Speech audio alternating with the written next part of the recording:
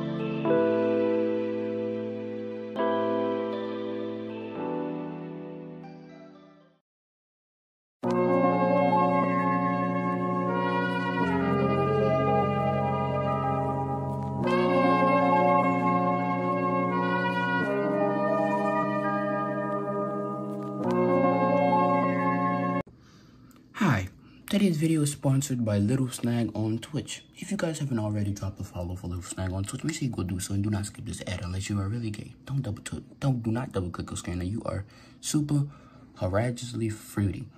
Thanks for sponsoring this ad, Little Snag on Twitch. No bad.